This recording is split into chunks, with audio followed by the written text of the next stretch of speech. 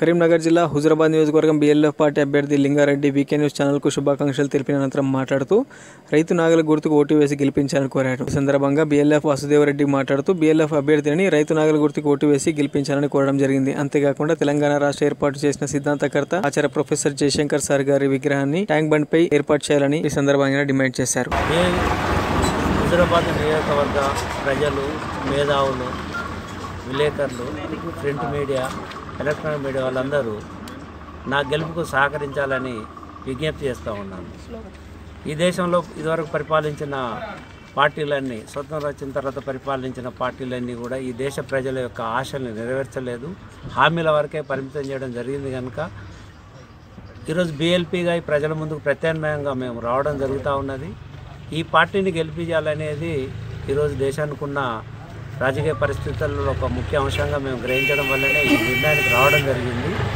తొంభై ఆరు పర్సెంట్ ఉన్న బీసీ ఎస్టీ ఎస్టీ పడపిల్ల పుట్టగానే లక్ష రూపాయల బీమా పథకాన్ని కూడా మేము మా ప్రణాళికలో పొందవలసిన జరిగింది కనుక బీఎల్పీలో చాలా ప్రజలకు అనుకూలమైన మేనిఫెస్టో ఉంది కనుక దీన్ని గెలిపేయాలని కోరుకుంటా ఉన్నాం.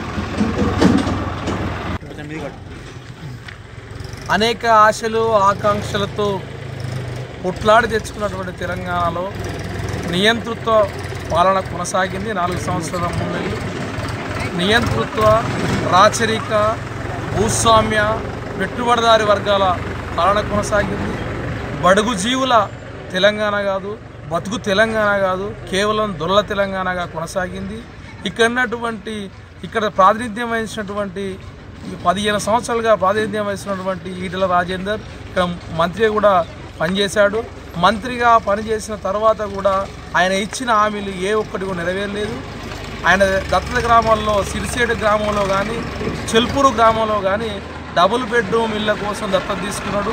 తట్టెడు మట్టి కూడా ఎత్తుకొని ధన రాజకీయాలకు డబ్బు రాజకీయాలకు సారా రాజకీయాలకు ఇతరత్ర ప్రలోభపడి ఓటేయొద్దు. మేము వాళ్ళకి విజ్ఞప్తి చేస్తున్నాం. ఒక స్వచ్ఛమైన నీతి గల రాజకీయ నాయకుని మనం ఎన్నుకోవాలి. ఒక స్వచ్ఛ రాజకీయాల వైపు మనం పయనించాలి. ఆ స్వచ్ఛ రాజకీయాలు చేయడానికే ఇలా బిఎల్ఎఫ్ ముందుకొచ్చింది.